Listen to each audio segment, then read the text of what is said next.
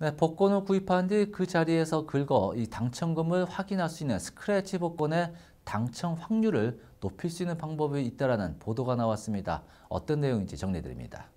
네, 노스캐롤라주 교육복권부에 따르면 복권 판매의 68%를 차지하는 이 스크래치 복권 게임 확률을 높일 수 있는 방법을 소개했습니다. 아, 주복권 관계자에 따르면 스크래치 복권에 표시된 당첨 금액만 보고 섣불리 복권을 구입 판단해서는 안 된다고 전합니다.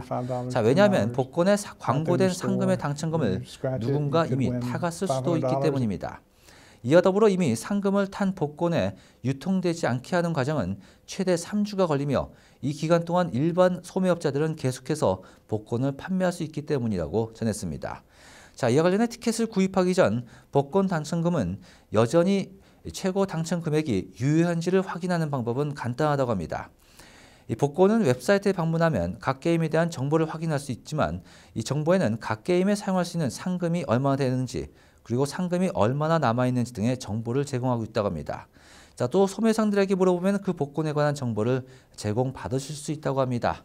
자, 이미 누군가 타버린 복권 그 뒷북을 치는 것은 안 될 것으로 보여집니다.